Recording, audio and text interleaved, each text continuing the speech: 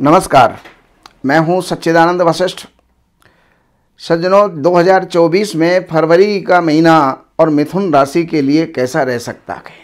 उसकी जानकारियाँ देने का प्रयास कर रहे हैं। शनि आपकी चंद्र राशि से नवम स्थान में हैं, राहु दसम स्थान में हैं और बृहस्पति आपके ग्यारहवें स्थान के अंदर हैं, जो ग्यारहवें स्थान के अंदर 24 अप्रैल तक ये रहेंगे। इसके पश्चात वो वृष राशि में प्रवेश कर जाएँगे। तो अब इनका जो है, फलादेश आपको देने का प्रयास कर रहे हैं। शनि नवम स्थान के अंदर अपनी राशि के अंदर बैठा हुआ भाग्य की वृद्धि करेगा। और भाग्य की वृद्धि करता हुआ ये आपको उन्नत करेगा, आगे लेकर के जाएगा, लेकिन भाइयों से जो है टकराव हो सकता है। दुश्मन आपके शांत होंगे, दुश्मन समाप्त होंगे, दुश्मनी समाप्त होगी या कोई कोर्ट केस के अंदर आपको विजय प्राप्त हो सकती है। राहु आपके दसम स्थान में है। आपकी नौकरी में, कारोबार में, या कोई भी सरकारी कारण ऐसे बन सकते हैं जिसके कारण से आपको परेशानी उठानी पड़ सकती है। ये राहु यहाँ पर बैठ कर के अपनी पांचवी दृष्टि से आपके धन स्थान को देखते हैं। तो धन स्थान में, कुटुंब में, अर्थात धन का व्यय होगा और कुटुंब के अंदर कुछ भी जो है, आपस में टकराव संभव है और प्रॉपर्टी से संबंधित कोई ना कोई वाद विवाद ये जो है, देखने को मिल सकते हैं। अब बृहस्पति आपके ग्यारहवें स्थान में बहुत ही अच्छा फल देने वाले हैं। और वो वहाँ से उनकी जो दृष्टि है, पंचम स्थान के ऊपर जा रही है। आय के स्रोत भी बनाएँगे, विद्या के स्रोत भी बनाएँगे। विद्या के अंदर कहीं भी कोई जो है, हमारा इंटरव्यू है, कोई साक्षात्कार है तो उसके अंदर भी हमें सफलता इस समय पर प्राप्त होगी। कोई रिटर्न टेस्ट है, कोई परीक्षा है तो उसमें भी हमको सफलता प्राप्त होगी। बाकी पति पत्नी के बीच अच्छे संबंध बनाएँगे, जिनके संबंध अभी तक नहीं बने हैं, उनके संबंध बन जाएँगे, यानी शादी सगाई उनकी जो है, हो सकती है।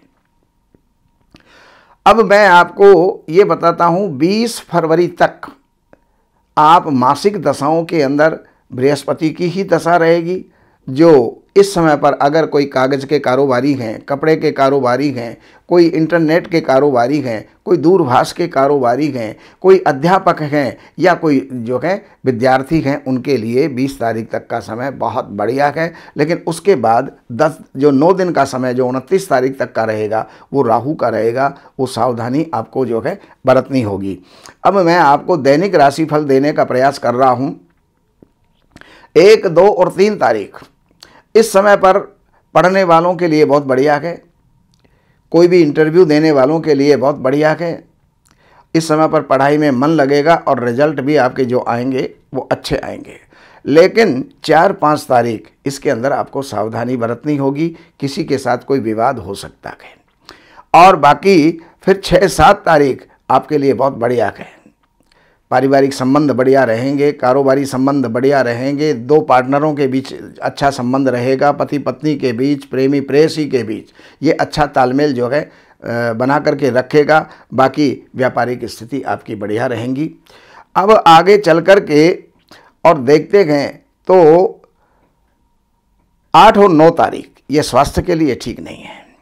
इस समय पर स्वास्थ्य का आपको ध्यान रखना होगा। विशेष करके कोल्ड संबंधी जो है तकलीफ़ें इस समय पर हो सकती हैं। यात्रा स्थगित करें और इस समय पर कोई नया कार्य ना करें।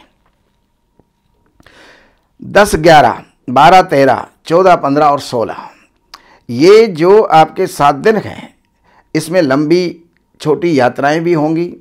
कोई आकाशीय यात्रा भी हो सकती है, वायुयान से भी कोई यात्रा हो सकती है, कहीं पदोन्नति आपको मिल सकती है, कोई ज्वाइनिंग आपको मिल सकती है और आपका भाग्य वृद्धि के कार्य और लाभ के कार्य आपके बहुत बढ़िया चलेंगे। लेकिन उसके साथ दो दिन, अर्थात सत्रह और अट्ठारह ये दो दिन को आप बचा करके रखें। इसके अंदर कहीं भी इन्वेस्टमेंट ना करें कोई खर्चा ना करें वरना कोई नुकसान हो सकता है धोखा हो सकता है चीटिंग हो सकती है।